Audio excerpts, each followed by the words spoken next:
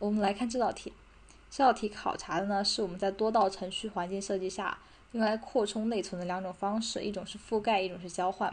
我们首先来看覆盖。那么覆盖的思想呢，就是在程序运行的过程中呢，并不是所有部分都要一直用到，所以说呢，它把一个用户空间，也就是在内存中的一个程序的空间，分成了一个固定区，分成了一个覆盖区。那么此时它现在是在内存当中的。那么这个固定区呢，就是我们这个程序中经常要去使用、要去运行的部分，一直存在于内存当中。那么这个覆盖区呢，就是把这个程序的很大一部分放在我们的外存或者是辅存，其他一些辅存。当需要的时候呢，就把它调进覆盖区，那么在需要其他部分的时候呢，继续调入覆盖区，那么替换掉原来覆盖区中原有的段。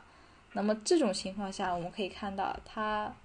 打破了一个程序的全部信息装入了主存之后才能够去运行的这样一个限制。但是如果它的代码量远远超过了它整个区域，就是超过了这个主存的时候，它仍然就是不能运行的。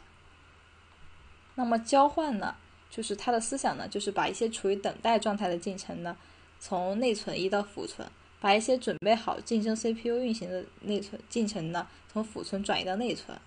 那么我可以看到它们的区别是，交换技术呢，主要是在不同的进程之间去调换，也就是说它调换的单位呢是进程。那么覆盖呢，就是用于同一个进程，它调用的是一个程序或一个进程中的不同的一个段。那么这两种方式呢，都是为了。扩充主存的容量，但是它仅仅是在逻辑上扩充主存的容量，给我们造成一种我们的主主存容量很大的一种错觉。所以说，B 选项在物理上扩充的储存的容量是不正确的。所以说这道题的答案呢就是 A 选项，通过节省储存空间来扩充我们的内存。